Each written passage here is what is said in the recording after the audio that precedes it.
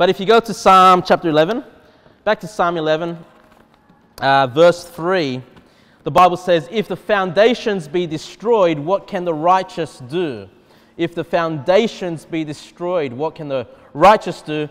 The title of the sermon tonight is We Are a Fundamental Church. Okay, we are a fundamental church. Two weeks ago, I preached that we are an independent church. Today, I'm preaching that we are a fundamental church. Another way of saying fundamental or yeah, fundamental is foundational. Something that's foundational is fundamental. These two words are very similar. The reason I didn't say in our, in our logo, I didn't say independent, you know, foundational Baptist church is simply because, you know, churches of our style are known as the IFB, are known as the Independent Fundamental Baptist. So I went with that name, and I'm going to talk about that a little bit today. But why are we a fundamental church?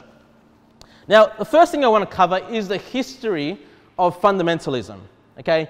There's a historical aspect before we even get into the scriptures themselves. There's a historical understanding that I want you to understand about fundamentalism. Why are some Christians, why do some Christians refer to themselves as fundamentalists and some do not? Well, we've got to go back to the late 1800s and the early 1900s. Um, it's interesting that the timing of all this is roughly when dispensationalism as well was being accepted by many denomination, denominations, as well as the pre-trib rapture.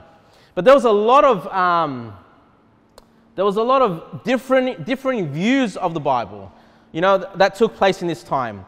A lot of cultural trends. People were saying, hey, we can't just take the, the Bible as it's written, we also have to look at our cultural trends. We've got to see how our society has evolved to be able to understand the scriptures in light of our new culture. Okay? There's also the progressive knowledge or the progressive sciences. Things like evolution started to take a, a foothold in the community, and the churches started to, you know, have to either answer against evolution or accept evolution in their teaching. You know, some churches started to say, well, we can understand the book of Genesis, we can understand the account of creation with evolution. You know, instead of it being six days of creation, they can say, well, each day represents millions or billions of years. You know, so there was this progressive learning that people wanted to take and, and, and change what the Word of God said. Uh, there was also the teaching of humanism. Now, humanism is kind of the idea that man is God, kind of like it's, it's about rational thinking, how we think as men, by uh, not acknowledging the supernatural, not acknowledging the things that we can't see, not acknowledging a deity, but seeing just rational thinking. How can man understand this world and that the world that we live in? And so, obviously, people started to look at that versus then just taking the word of God for what it says. And of course, during that time as well, there was biblical criticism. You know, this is the time as well as all these new Bibles as well were coming into play. You know, going back and saying, well, we don't have an accurate record of what God said. You know, we don't know whether these things were really written by these authors or whether, you know, this was, you know, put together by other men or can we really take this as a, as a historical uh, reading of the Word of God? And uh, there was all these kind of thoughts that were taking place in churches in the late 1800s, early 1900s before the independent fundamental Baptists even existed, okay, as we know them today. Um, and so some churches obviously started to take these ideas on board, started to preach man's wisdom rather than the Word of God, started to interpret the Word of God with this progressive learning of man. And of course, other Christians stood against that and said, hey, this isn't right. You know, the final authority we have is the Word of God. And we can't take what man says. We know the wisdom of the world is foolishness to God. We know that, you know, that the wisdom of the man is foolishness to God. And, and so they took a stand and said, look, we need to stand against this movement. And uh, the, the first denomination that really started to take a stand against this were the Presbyterians. Okay? And then eventually other denominations started to, to uh, you know, um, do the same thing. And so when, we look, look, back in the early 1900s, when we talk about fundamental, fundamentals, or fundamentalism, it was, it was spread amongst a number of denominations, a, a, number of Protestants. And the Baptists were one of the last to get on board. If you look at church history, the Baptists are always the last. And I reckon because we're, we're the most stubborn. Like it takes us the longest to get on board with something. And then it takes us a long time to change once we've, we've dug our heels into, into something. And you guys can relate to that. You know, this discussions you have with Baptists, very hard to get them to change. You know, even when they acknowledge that they might be in error, it takes them a long time to learn. And, and that's just, that's just the, the nature of Baptists. It takes them a long time to change.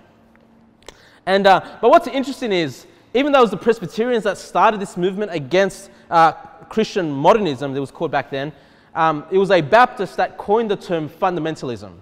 Okay? That term fundamentalism was coined by a Baptist as, as, hey, as an identification that we stand against all this progressive learning that's taking place. You know, we take the Word of God as our final authority.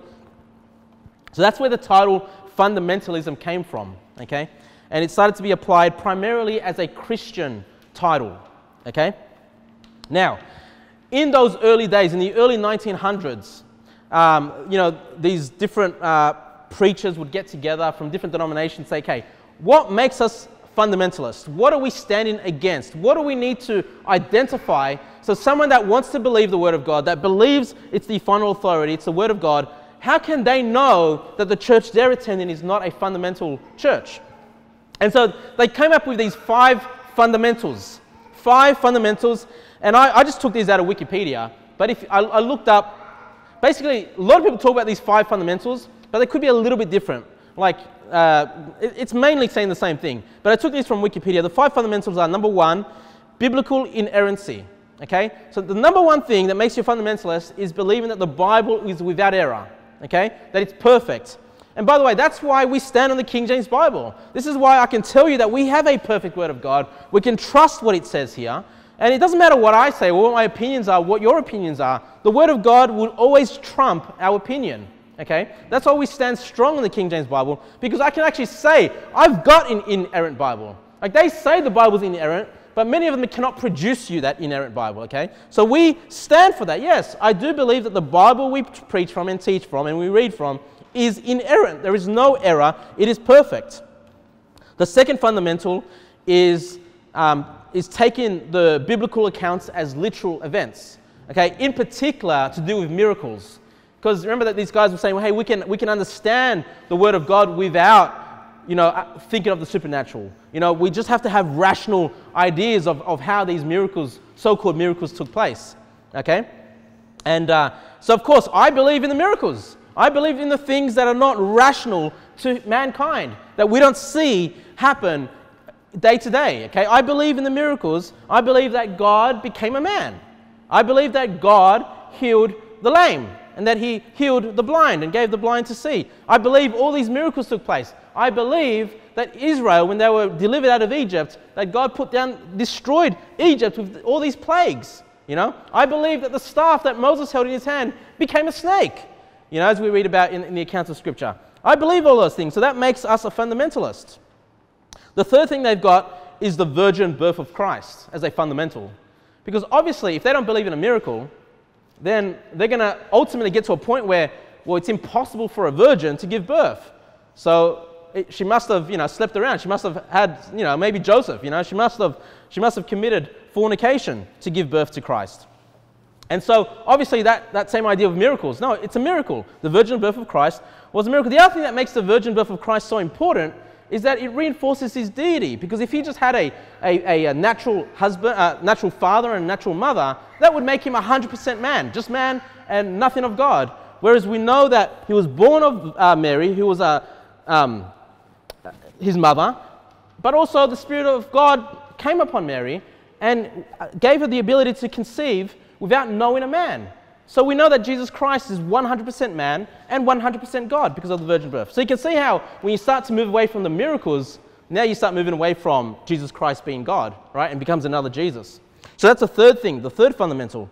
The fourth fundamental was the bodily resur- resurrection of Christ.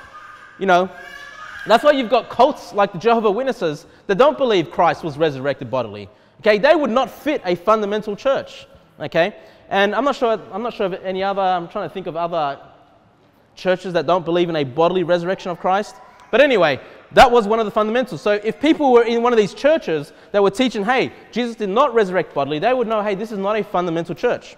And the fifth fundamental was the uh, substitu- substitu- substitutionary blood atonement of Christ. Okay, the blood atonement of Christ. That Christ came as our substitute died on the cross for our sins so we can go free, so we can be right through God because God's wrath, God's judgment was put upon Jesus Christ. So these are the five fundamentals. And if you look up the five fundamentals, uh, like I said, there can be differences in different websites that you look at, but very, very similar. Okay, a lot of them are very similar. Maybe they're just worded slightly differently. Um, this was just the beginning. What happened afterwards was a bunch of Protestants and Baptists got together and they created this 12 volume, 90 essay uh, uh, booklet. Okay, well, multiple books. It's 12 volumes of books of 90 essays and 64 authors. So there's more authors to this in the Bible, right? Um, and so I, have not read through these essays, by the way. I've not gone there because I've got the Bible. Why, why, I don't need to go through these essays. But I'm, i just want to give you the, the, historic understanding of fundamentalism, okay? Um, these essays were finalized in 1915 and then they were printed and distributed across America, distributed to missionaries across the world.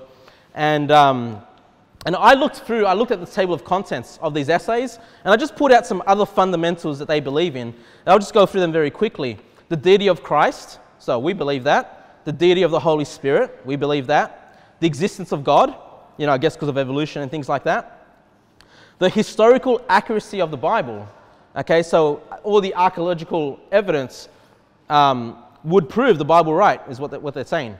Salvation by grace through faith, um, the inspiration of scriptures.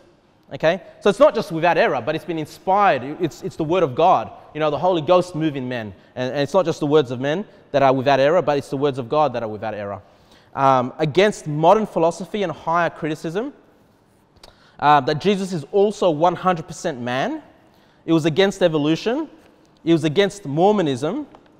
Uh, it was teaching that prophecy had been fulfilled, okay, so fulfillment of prophecy.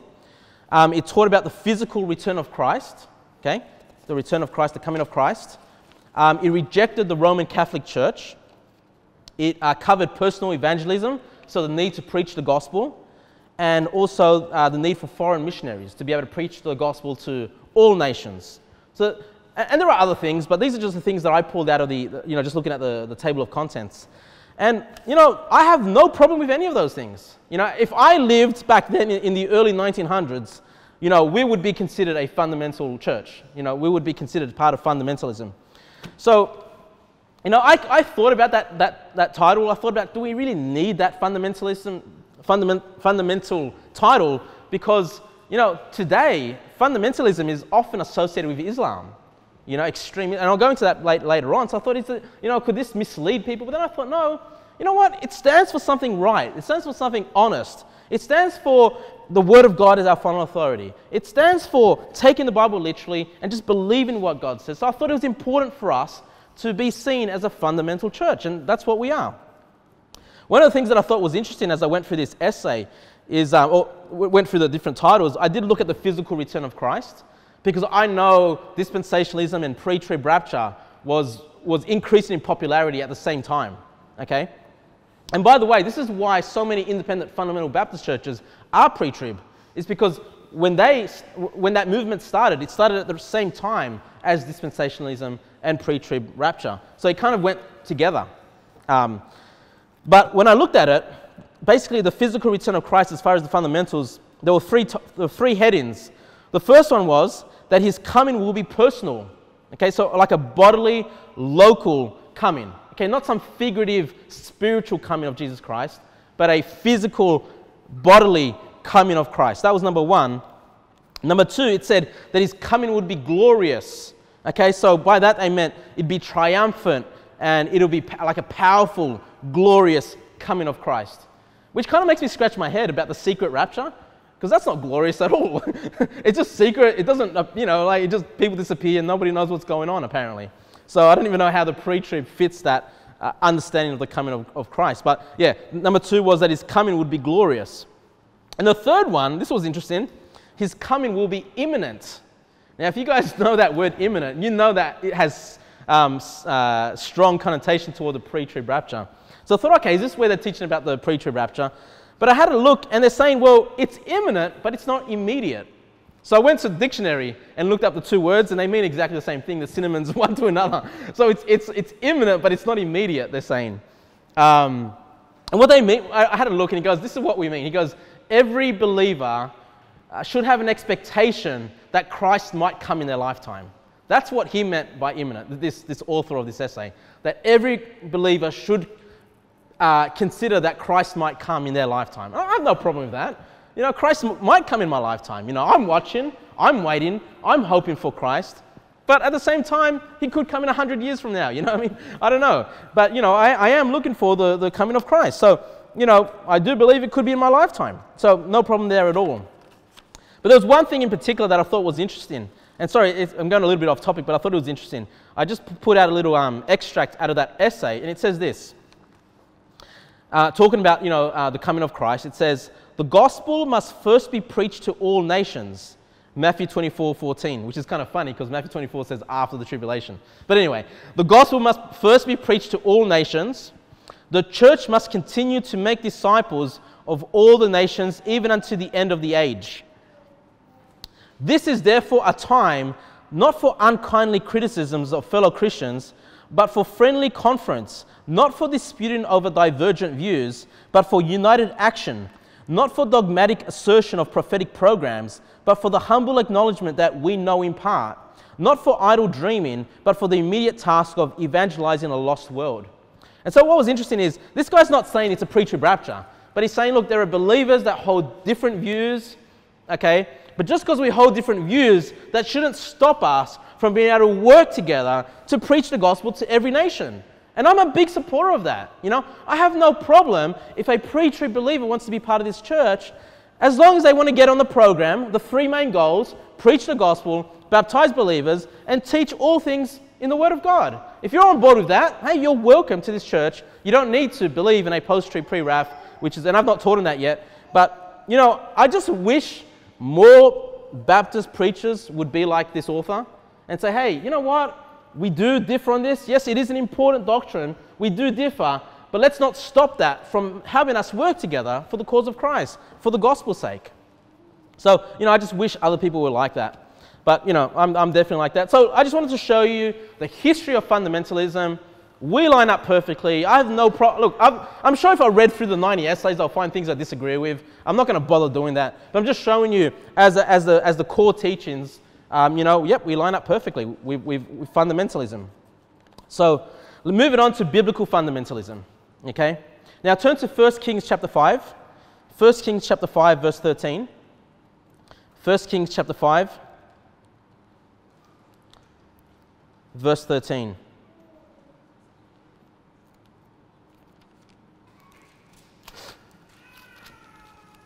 Verse 13.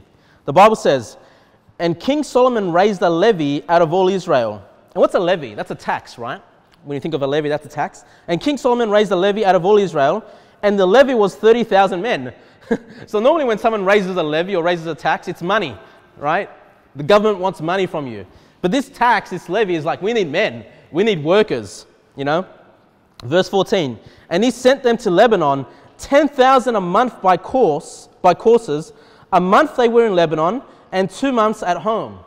So King Solomon gets these, you know, Israelites, 10,000 in courses, so it's this rotating roster, where one month they'd be in Lebanon and two months they'd be at home, okay? And the whole purpose of this was to build the temple of God. And primarily what we're reading about here is building the foundations of the temple of God. Um, and then in verse 15, and Solomon had three score and 10,000 that bear burdens. So if you don't know what a score is, a score is 20. So three score is 3 times 20, that's 60, and 10, that's 70. So he had 70,000 that bear burdens. So he had 70,000 laborers, okay? And four score, 4 times 20, 80, four score, 80,000 hewers in the mountains. So he had 80,000 people that would go into these quarries in the, into the mountains, mining rock for the foundation of the temple. And then in verse 16, beside the chief of Solomon's officers, which were over the work, 3,300, which ruled over the people that wrought in the work. So these are 3,300 supervisors overseeing all these workers.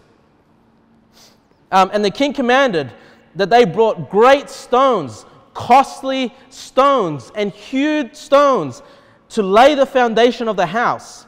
And Solomon's builders and Hiram's builders did hew them, and the stone squ- uh, squarers, and they prepared timber and stones to build the house. So I just want to show you how important it was when Israel went to build the house of the Lord, the temple in the Old Testament, how important it was to get as many people as possible, as many workers as they could manage to work and mine for these rocks. The Bible says, what were they? They were great stones. So they weren't just little pebbles they were mining, they were getting, they were cutting out of that mountain great stones for the foundation of the temple, costly stones. And I don't know if that costly means, um, uh, like it can be expensive because of the, of the, of the, uh, the manpower required to do that, but I think it's probably got more to do with like marble, kind of expensive stones, things that are, are not uh, easy to mine and that are extra strong than your average stone. And then it says, and hewed stone. So these stones were cut, they were smoothed out, they were worked on to lay the foundation of the house. Okay, so what I want to show you, just as a principle, how important our foundation is. Okay, how important being a fundamentalist is. Okay, having, before we can build anything, we must have a strong foundation. Okay, Solomon, who is wise, what did it say there? Uh, well, actually, I didn't read that. Verse 12. And the Lord gave Solomon wisdom. Okay, so Solomon had the wisdom when he goes, I'm going to build this house of the Lord. I must have strong foundations. And I want you to have the wisdom of Solomon and that you can say to yourself, hey, we need strong foundations in our life. We need strong foundations in our church. Turn to Hebrews 11. Hebrews 11, verse 8.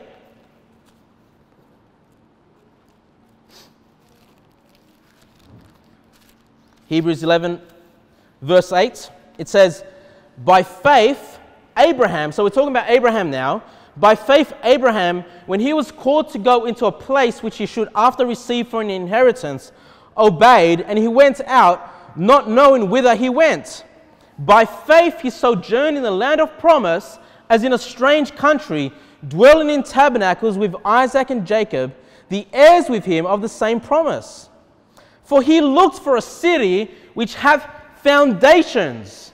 Okay? So, uh, Abraham, when he was called by God to leave his people, to leave his family, to leave his nation, he went with this promise, this promise that was also given to Isaac and Jacob and a lot of people think, you know, there was an earthly representation of that, which was the land of Israel, which was the land of Canaan, the promised land. There was an earthly representation of that, yes. But the city that he was looking for was a city with foundations, whose builder and maker is God. Okay, he was looking for this place, and I would say that's heaven. I would say that's New Jerusalem. Okay, we read about New Jerusalem in Revelation with these foundations of very costly stones, and it has the name of the apostles written on those foundations. So I believe that ultimately he was referring to that New Jerusalem. But I just want to show you that the foundation was important. Not just a foundation, but a foundation whose builder and maker is God. Okay?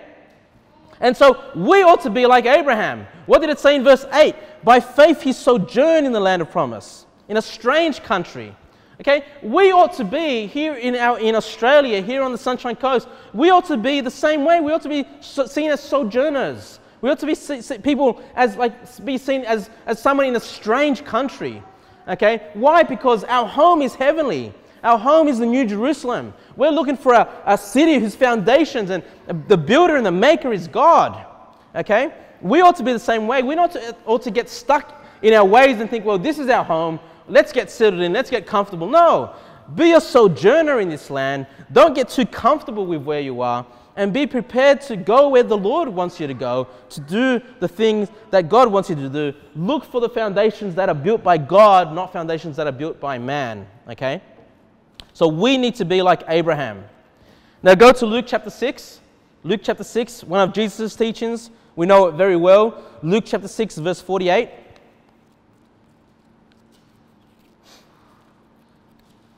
Luke 6:48. So why are we fundamentalists? Why is this a fundamental church?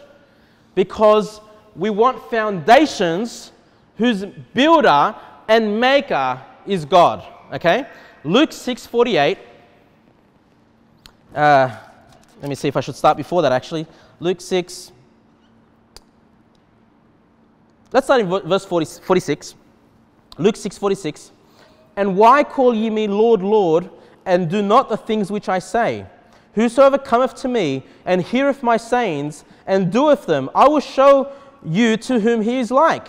So the one that listens to God, who listens to the teachings of Jesus Christ, okay, who does the things that Jesus says to do, he says, I'll show you what they're like, okay? In verse 48, he is like a man which built an house and dig deep. So, what are we talking about? We're talking about the fundamentals of the house. We're talking about the foundations of the house. He's going to build a house, but he wants to dig deep, okay?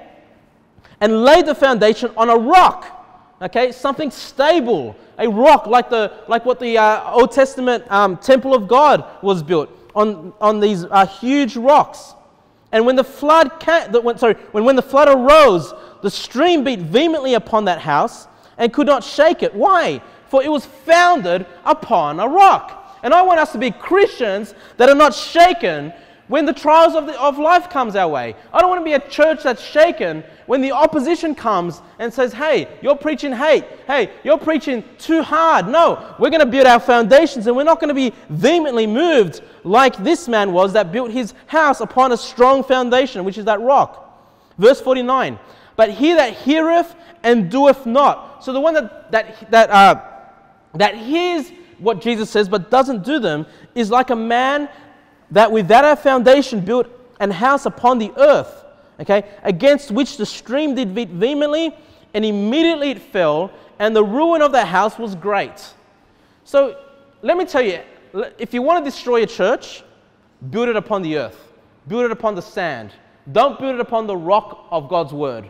Okay? If we want to destroy this church tomorrow, let's just move away from the teachings of Christ, move away from the rock, from the words of God, move away from doing the words of God. That's another thing. I can preach the words of God, but we can say, hey, let's not do them. That's another sure way to destroy our church. But no, we're a fundamental church. We're going to set the Word of God as our foundation, and we're going to build upon that, work, uh, that Word. So we're not going to be vehemently moved, and our house is not going to fall down and be ruined by those uh, when he gets beaten upon. Okay. Uh, 1 Corinthians 3:11. I'll just read that to you. You don't need to turn there. 1 Corinthians 3:11 says, "For other foundation can no man lay than that is laid, which is Jesus Christ." So not just the word of God as our foundation, but Jesus Christ. Okay, remember he came to set an example. He came to deliver us from our sins. So we set that as our foundation. Yes, we're here because we've trusted on Christ. Now, what are the examples that Christ left us? Let's do those examples. Let's walk, like we sang, footprints of Jesus. Let's follow those footprints of Jesus in our life. Okay? Let's, let's do what we hear the Word of God says. And that is our foundation. And then we can build everything else, all our other doctrines, all our other teachings, all our other ministries upon that foundation, which is Jesus Christ and His Word. Ephesians 2:19, I'll just read it to you. Ephesians 2:19 to 22. Now, therefore, ye are no more strangers and foreigners, but fellow citizens with the saints and of the household of God. So here, uh, Paul is writing to the Ephesians, to these Gentiles, and says, hey, you're no longer strangers, you're no longer foreigners to Israel. Okay? You're fellow citizens with the saints and of the household of God, and are built upon the foundation of the apostles and prophets, Jesus Christ Himself being the chief cornerstone. So we know Jesus is our foundation. But not just that, but the foundation is upon the apostles and prophets. Guess where we read about the apostles and prophets? Right here, right? This is where we read what they wrote. This is what we can read about what they said.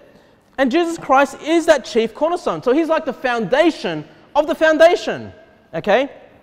We get it from the word of God.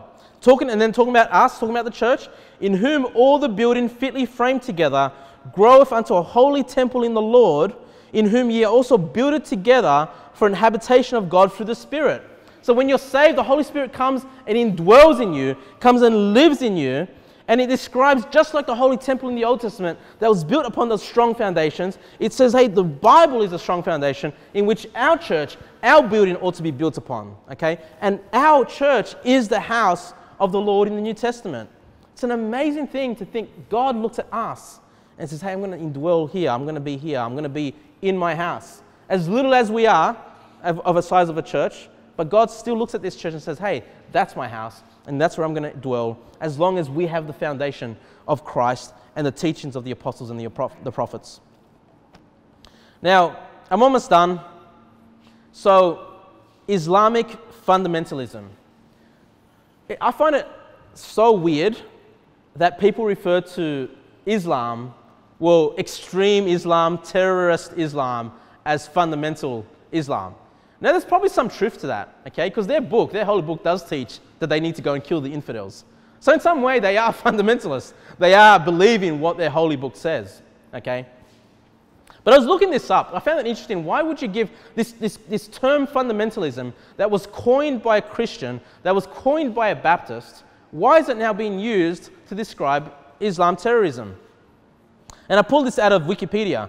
It says this The Iran hostage crisis of 1979 to 80, so I don't know, this was before I was born, marked a major turning point in the use of the term fundamentalism. So it was this hostage crisis, this act of terrorism, that was a turning point for the use of the term fundamentalism. The media, of course, right? the media, in an attempt to explain the ideology of Ayatollah Khomeini and the Iranian revolution of a Western audience, described it as a fundamentalist version of Islam, by way of analogy to the Christian fundamentalist movement in the United States. So the Christians that termed, that coined the term fundamentalism because we stand for the word of God. The media saw this hostage crisis, saw this act of terrorism, and say, well, they're like the Christians. Let's call them Islamic fundamentalism. And that's why you keep hearing this in the media to this day.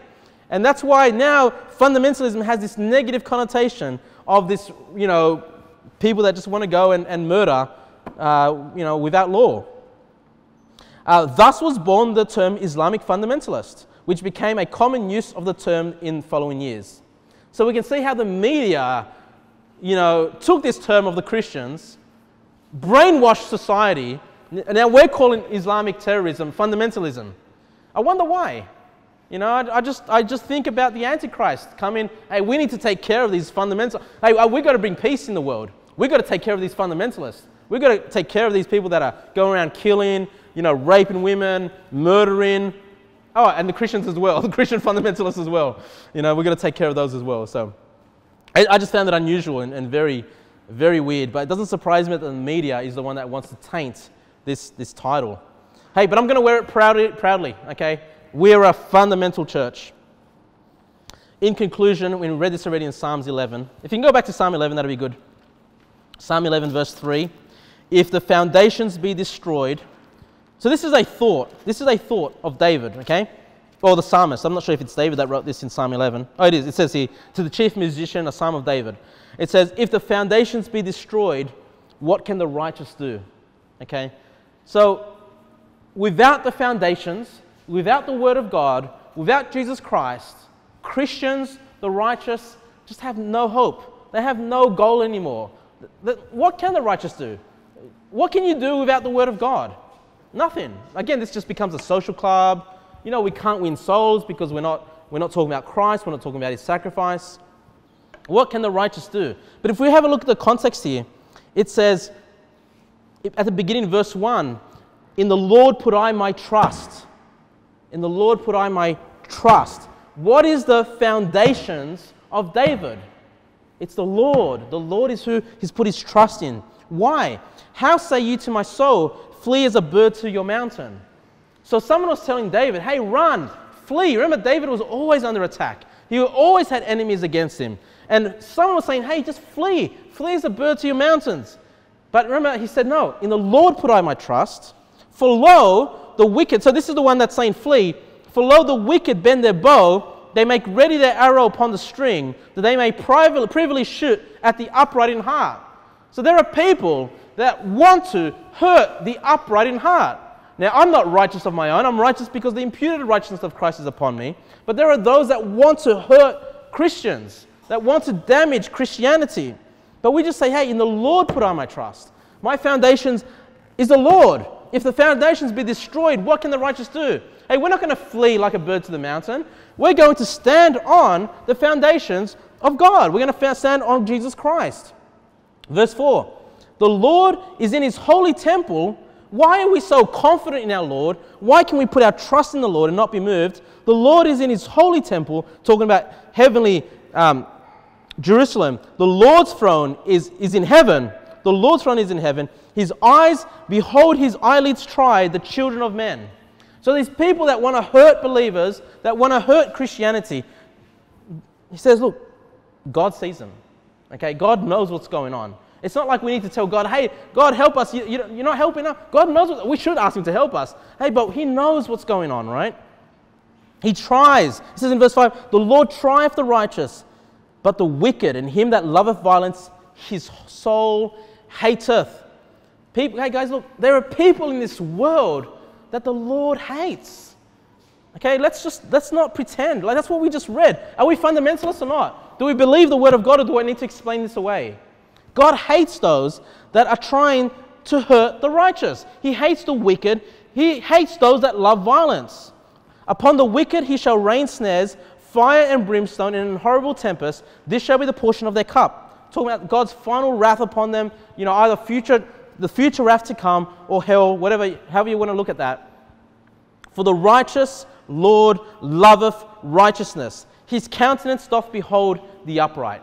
So the righteous Lord loveth righteousness. He hates the wicked, but he loves righteousness. And I'm just reminded with this whole same sex marriage nonsense, this postal vote that Australia voted for, some 60%, some 60% of our nation believes it's fine for two men to get married. Has the world gone nuts? Two women to get married. What in the world? But what does the Lord say? Hey, I'm going to have foundations. Hey, I'm not going to get rid of my foundations. I'm going to put my trust in the Lord and I know that the Lord hateth the wicked. The Lord hates the fact that 60% of Australians support homosexuality. It drives me insane to think about that. Okay? But what makes us fundamentalists? It means that I hold this word of God above everything else.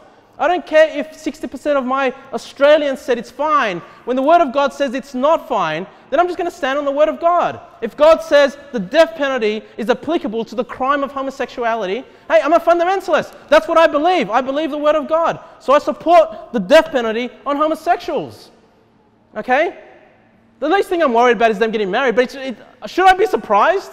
Should I be surprised when our nation allows 250 babies to be aborted every day? I mean, that's even worse. 250 babies being killed every single day in abortion clinics. It's even worse than homosexuals getting married. This shouldn't, shouldn't surprise me. But am I going to flee? Am I going to flee from this? No. I'm going to put my trust in the Lord and I'm going to stand strong on the foundations because we are a fundamental church. Nothing's going to change that. No matter what persecution we may face, no matter what problems I might face, preaching the Word of God that's been in existence for hundreds of years. People have been preaching this for hundreds of years. I tell you now, this change in our, in our laws, or no, it hasn't changed in our laws just yet, but this change in culture is just going to have other pastors behind the pulpit supporting homosexuality more than ever. There's going to be more homosexuality in churches more than ever. And I'm telling you the truth, I will never, in my knowledge, know, I will never allow a homosexual in this church. Never, ever, any pedophile, any homosexual, any reprobate like that, never, ever will I allow them to come into this church and become predators to people here in this church, okay? I'm just telling you the truth. You know, if it happens by accident, it happens because I didn't know, okay? Just to tell you, I'll never allow that. These people ought to be put to death, like the Bible says, and I can say that because I'm a fundamentalist. Let's pray.